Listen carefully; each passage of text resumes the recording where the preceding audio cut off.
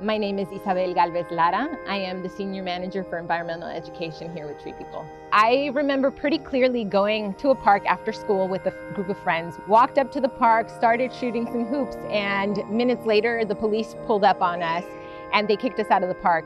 The sun wasn't down, it was not after hours. Getting kicked out of a park that was right in my community by police was a clear signal that that place was not for me. In advocating for green space, I think connecting community to the spaces directly around them is critically important.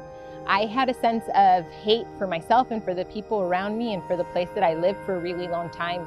And it took me getting away to really understand that this is my place. There is no other place where change is more impactful than the place right outside of my home. Allowing youth access not only to the outdoors, but also to the tools and the avenues to be able to advocate for change in their communities is critically important, especially right now.